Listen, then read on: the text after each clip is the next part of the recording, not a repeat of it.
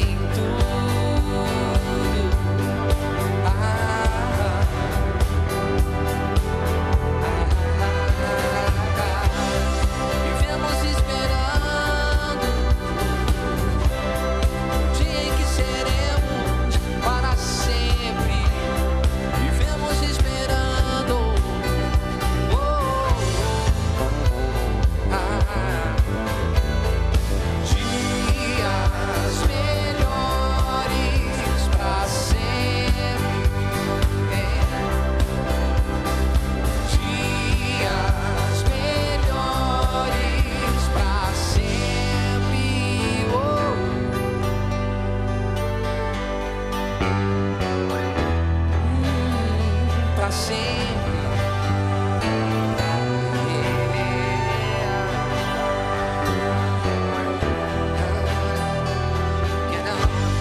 Vivemos esperando dias melhores.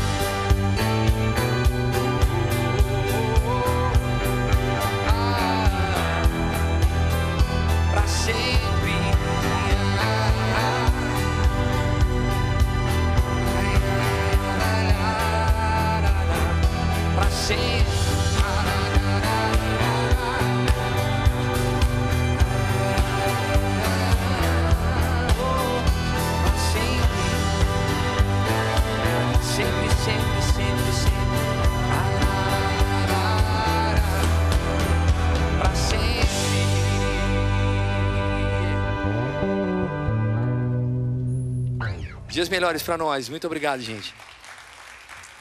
Bonito, hein?